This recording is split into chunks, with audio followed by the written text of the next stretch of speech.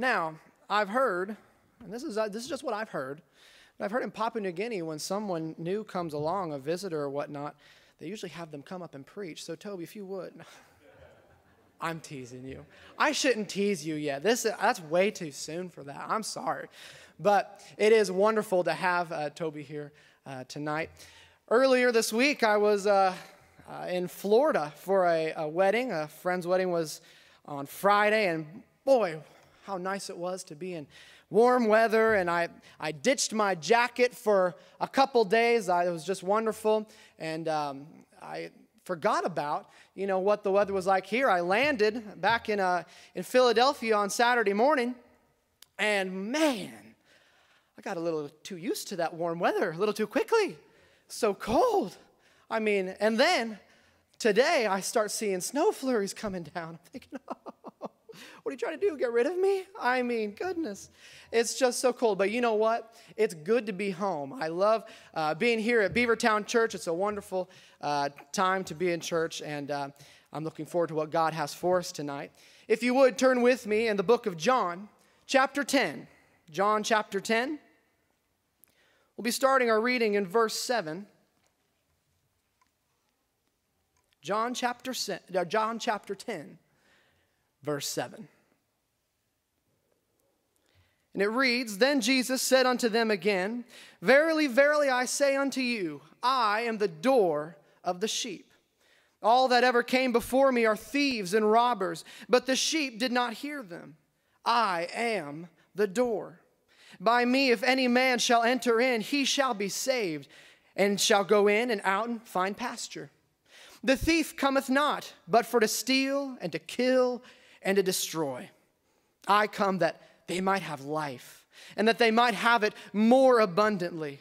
I am the good shepherd. The good shepherd giveth his life for the sheep. But he that is an hireling, and not the shepherd, whose own the sheep are not, seeth the wolf coming, and leaveth the sheep, and fleeth.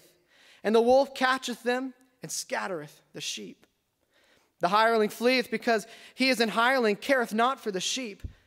But I am the good shepherd, and know my sheep, and am known of mine. As the Father knoweth me, even so know I the Father, and I lay down my life for the sheep. And other sheep I have, which are not of this fold, them also I must bring, and they shall hear my voice, and there shall be one fold and one shepherd. Let's bow our heads and pray. Heavenly Father, I pray that you would help us in this service. I pray that you would anoint my lips and give me the words to speak. And Lord, may you get all the glory from all that's done tonight. We give you the praise. In Jesus' name we pray. Amen. At this point, Jesus is on the move. His earthly ministry is in full swing, and he's making headlines just about everywhere he goes. He's preaching messages that are being discussed about all throughout the region. He's healing the sick, and as we talked about earlier or this morning, he caused the blind to see. He's walked on water. And there are many at this point who are saying that Jesus just might be the Messiah. You would think that the religious leaders would be excited. After all, they're the ones who have been studying the scriptures, who have spent and dedicated their entire life to learning what the scripture might say, and are the ones who are supposed to be uh, turning others to Christ. But we all, we all know all too well what their response was, don't we? They hated Jesus. They wanted to kill him. In fact, by the time Jesus is speaking these words, they had already tried. You see, in chapter 8, Jesus and the Pharisees had had a pretty intense conflict. And sparing all the details, it ended with the Pharisees claiming Jesus to be demon possessed and Jesus showing them their true colors that they were, in fact, sons of the devil. Now, obviously, that didn't sit well with, uh, with them. The account continues. And to display God's power, Jesus heals the man. And as the man is now walking through the town, the people are bewildered. For as long as they could remember, this man had sat at the gate and begged for money. You think of all the many times that they had probably passed by that man who had his hand out, or maybe a cup, whatever he might have had, asking for some little uh, pence that they could give so that he could survive. And of course, Jesus heals the man, and when people see that he's healed, they're questioning, How in the world are you able to see? And the Pharisees are asking the same question. When they find him, they ask, How are you able to see? And when they find out it was through Jesus, their blood begins to boil. They're furious. They command the blind man not to give Jesus the credit, for he's a sinner. And I love what the man responds back with. He says in verse 25, Whether he be a sinner or no, I know not. One thing I know, that whereas I was blind, now I see. oh, that didn't make the Pharisees too happy. They cast him out of the temple with not a care in the world for him. But aren't you glad Jesus found the man? Because earlier Jesus had healed him from his, his physical blindness, but now he was going to do something so much more. He healed him of his spiritual blindness. The man puts his faith into Jesus Christ. And so that's where we find ourselves in our passage tonight. In this passage, we find three characteristics of this new name for Jesus the Good Shepherd. Jesus begins by claiming that he is the door of the sheep. Now, this isn't a new metaphor that Jesus is introducing to his audience. Every good shepherd knew what it meant to be the door for the sheep.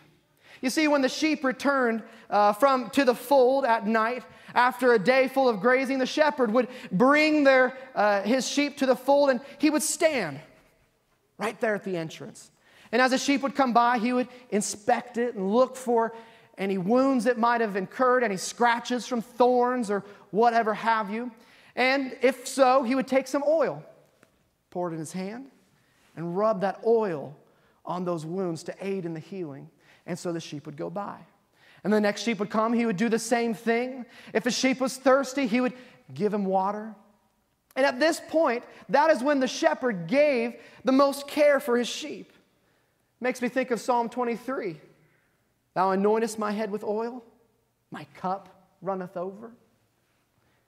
See, after all the sheep had been counted and brought into the pen, the shepherd then would lay down in the entrance to the pen so that no intruder, man or beast, could enter that fold without his knowledge. The shepherd quite literally became the door. The shepherd was the protector of the flock. The lives of the sheep depended on whether that shepherd did his job by keeping watch at the entrance of the fold. If one of the sheep decided not to follow, well, then it spelled certain death for it. And Jesus emphasizes that I am the door. What's he saying? He's, he's further strengthening the point that it is through him and through him alone that one can gain eternal life. He is the guardian, He is the protector against the thief and the robber. No doubt Jesus had these religious leaders in mind uh, when speaking of those false shepherds. The scribes and the Pharisees had been taking Israel down a path of earned salvation. They taught that if you followed all the right rules, if you said all the right words, if you observed all the right holidays, well, then you could be saved. But Jesus taught something much different. Not only were the local leaders leading their flock down the wrong path, but they were doing it for selfish reasons. You know, how many selfless thieves and robbers do you know? Not a whole lot. In fact, I would dare say there's none. I hate to break it to you, but Robin Hood is a fiction story. These leaders cared more about what they could gain from their people than how they could serve them. And Jesus, he displayed quite the opposite. He came to give eternal life and to give it more abundantly. You know, that word abundantly is used multiple times throughout the New Testament. The sentiment is uh, behind the word is to be beyond what is normally expected. In some uses, that word is translated as beyond measure. So, what Jesus is offering is a gift that goes far beyond what anyone ever expected. You see, the Jews were looking for a Messiah to establish an earthly kingdom. The Jews were looking for a Messiah that would deliver them out from under the boot of the Roman Empire. One that would exalt the Jews to a plane above everyone else. But Jesus had much bigger plans in mind. As the Good Shepherd, he has eternal, he has infinite, everlasting plans in mind for his sheep. Secondly, as the Good Shepherd, he knows his sheep. The relationship that Jesus has made possible for us to have is so much greater than we could ever dream on our own. Mankind, all throughout history, has created a lot of false gods to worship. Yet, with each new infatuation to worship, no man has ever created a God that wants a relationship the way our Heavenly Father wants with us. You see, He's not the kind of God that constantly needs His wrath placated with sacrifice. He's not the kind of God who rarely interacts with His creation. He's not the kind of God who's irritated by your prayers. You know what kind of God we serve? The kind of God that knows the very hairs on your head. The kind of God who cares about your largest financial struggle down to your child's bad dream last night. The kind of God that answers prayer and gives us comfort when circumstances don't go our way. I like what 1 Peter 5 7 says. It says we can cast all of our cares upon Him. Matthew 11 28 says that He offers rest to those who are labor and are heavy laden. Nahum 1 7 says that he is a stronghold in the day of trouble. How is this all possible? How can he be all of these things at once? Because he knows us and we can know him. He made himself readily available to all those who would call on his name. I know my sheep and am known of mine. Just as the shepherd calls his sheep and they follow only him, so Jesus knows his people. You know how well a sheep knows his shepherd's voice? You see, in Jesus' day, it was very common for shepherds to uh, share uh, a fold among other different flocks and different shepherds in the area. And so at night, you would have anywhere from five to ten different shepherds bringing their various. My uh, job is to keep watch over my sheep. I would rather not do that the whole night. And so, with all these different shepherds, they were able to uh, take shifts. And so, while one was keeping watch, the rest could sleep. And then, after a certain time, they would switch off. And it worked really well. But my thought process is this that looks great. But what do you do in the morning? I mean, you've got dozens and dozens, maybe even hundreds of sheep all in one pen. How are you going to separate everything? And here's the other problem sheep are dumb. I mean, they're dumb, dumb. Kara's grandfather, her grandpa England, he is a true blue shepherd. He's been a shepherd for, oh my, decades, long, long time. And what's funny about sheep, they are so dumb that they don't even know when to quit eating.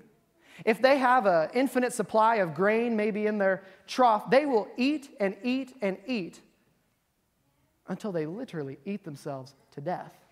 It's crazy. Now, some of you are thinking, what a way to go.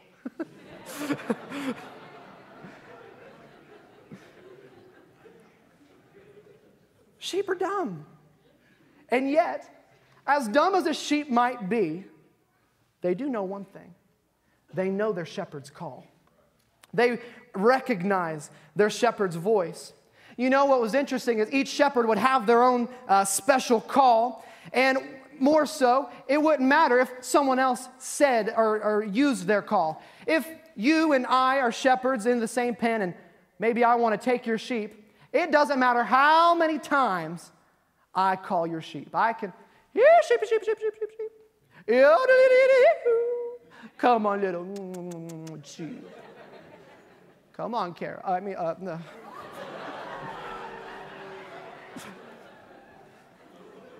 Siri, remind me to go to furniture store tomorrow to pick up a nicer couch. Okay.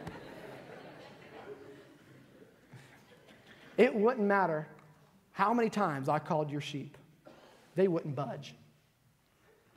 But when the true shepherd called, immediately the flocks would separate and they would follow their master. Jesus knows his sheep, and his sheep know him. When he calls his sheep, they listen because they love and trust him. Jesus has proven himself time and time again to be faithful to his sheep. He has provided for them. He has loved them. He has listened to them. And we can trust Him for all of these reasons. But most of all, we can find peace and rest in Him because He's done the most important thing of all He's laid down His life for His sheep. That brings me to my third uh, characteristic we find of the Good Shepherd. Jesus is the Good Shepherd because He self sacrificially loves his sheep. In this illustration, Jesus gives three different people in relation to the sheep the thief, the hired hand, and the shepherd. What does the thief do? He steals, he kills, and he destroys. The thief hates the sheep and is looking to ruin them. The hired hand does the job only for the money. He cares nothing for the sheep, and in fact, runs at the very first sign of trouble. He's lazy in his care of the sheep and ultimately only cares for himself.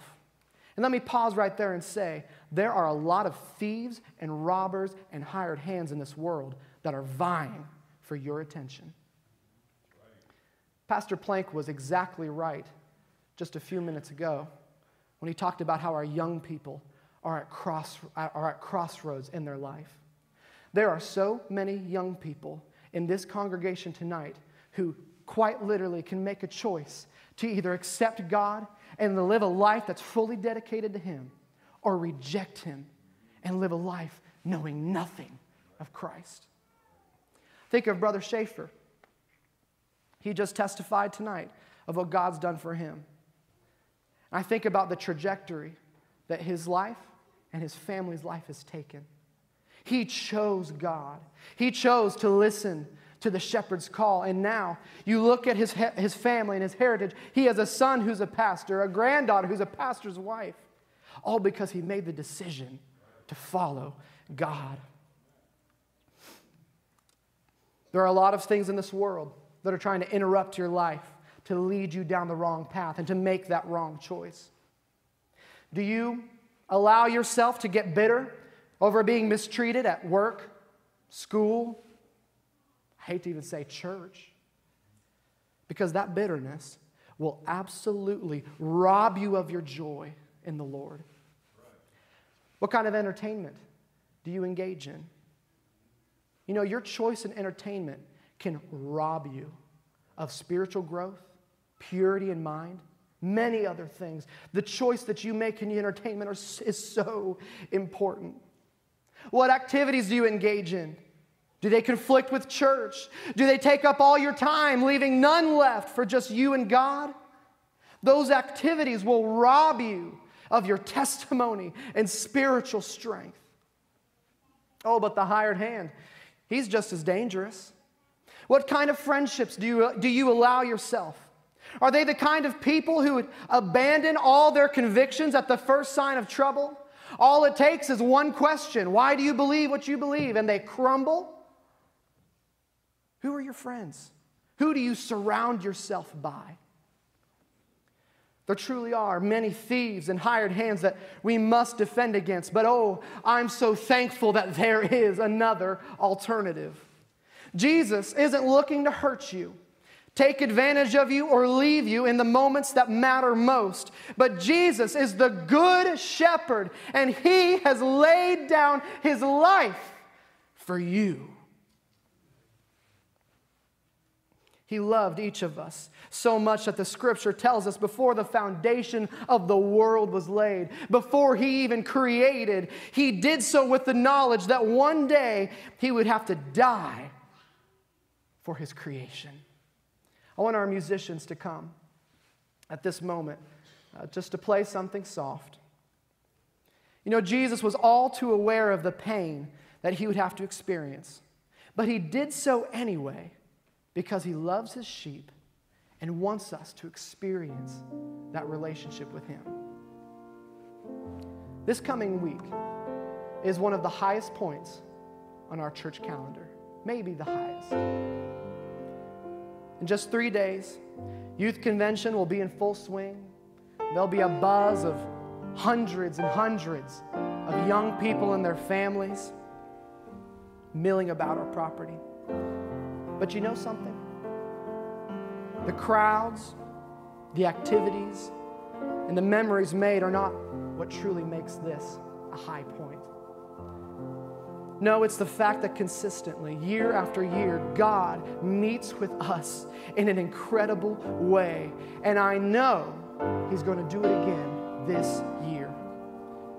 You see, Jesus is calling each and every one of us to Himself. He is waiting to give you eternal life to all who would accept Him. And He wants you to know Him as your personal Savior because He's already laid down His life for you. I told our young people this morning in Sunday school that this week is a golden opportunity for them. If they're not right with God, then this is the week to change that. But I thought about it a little bit more and why wait? Why wait? Truth be told, we're not guaranteed another moment.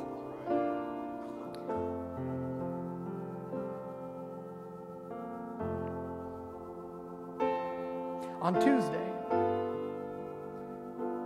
we're conducting a funeral for a man who doesn't have another moment. I don't know what he might have been thinking. I don't know what uh, might have been going through his mind. Maybe he thought, I can wait a little longer. Maybe I'll wait for that next service. And we can get trapped into that same cycle. I'll get right with God later. I'll see what happens at youth convention. Maybe you're in the convention. I'll wait until the last night. We'll just see how God speaks to me throughout the convention. Or maybe even right now, God is speaking to you and you're telling yourself, well, I'll just wait. I'll wait to pray when I get home. And I don't say this to scare you, but you might not have that next moment. We're not promised a single minute more in our life, and we don't know what the future holds. But what I do know is this the Good Shepherd is calling. Will you answer? I want us to turn to page 626 in our Sing to the Lord hymnal.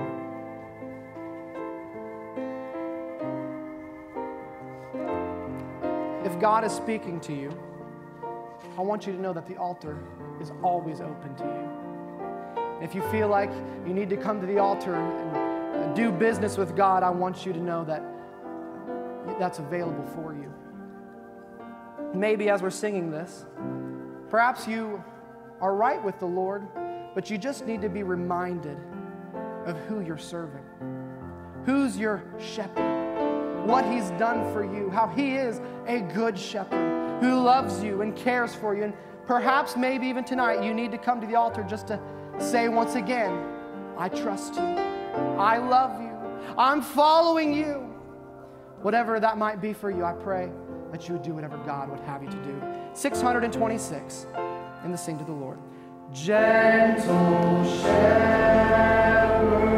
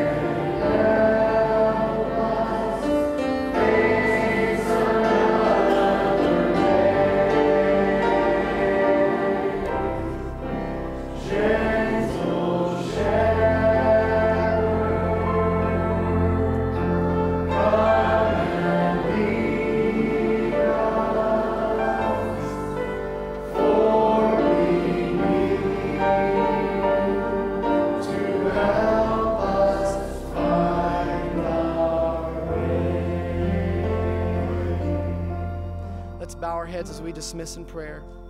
Heavenly Father, we're thankful that you are the good shepherd. We're thankful that we can follow you all of our days and that you have an invested interest in us. Lord, I pray that you'd please be with us throughout the activities of this coming week.